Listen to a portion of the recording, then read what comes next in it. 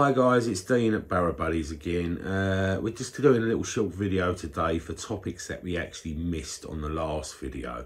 Just I've had a few you guys uh, send me a few messages saying about that they've got power porter wheels. Um, obviously these wheels are a big, heavy, bulky unit with the battery on as well. And some of the older models especially only had the two thumb screws that hold them on.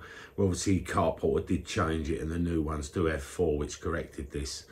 Um, so any of you guys that's got the older ones and you're struggling with the wheel unit in time and use slipping down and coming loose and coming off, which you've got to be very careful of because if it flies off when you're using it, it's going to rip all your electrics out and it's going to cost you a fortune.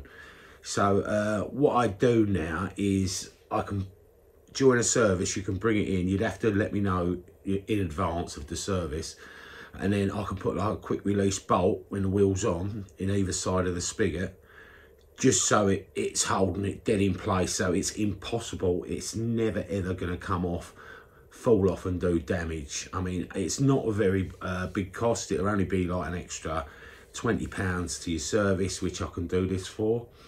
So you know it's well worth doing and spending the extra little bit of money if you need it doing uh, I've also had a few of you guys talking about the back legs, the tri-porters with the wheels that push up in the back. Same again, the new ones have got like a lock-in anodized knob systems which stops them pushing back up under weight when you got like 70, 80 kilos on the back. Keep sliding down. So that, that has improved the Barra. But on the same again with the old ones, they've just got the thumb screw and they do suffer when they get a bit worn with them sliding down underweight, which can be a bit of a pain. So same again, we can nut and bolt them, get them to your height that you're happy with, and then we'll nut and bolt them during the service so that you could stand on the thing and it's never ever going to slide down again.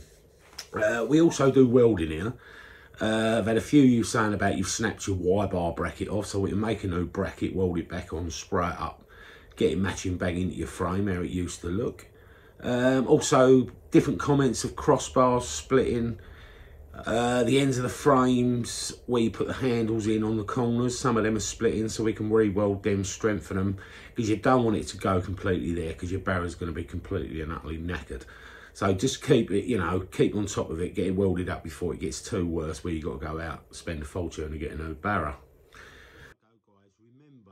There's a 10% discount to be had at anything we do here at Barrow Buddies any form of servicing, anything, 10% discount. If you join Barrow Buddies, hit that like button, subscribe and share any of our YouTube videos, you'll be entitled to a 10% discount. I mean, that can't be bad.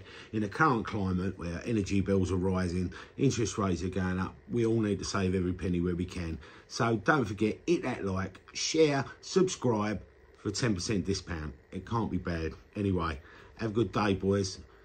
Have a good fish. Bye for now.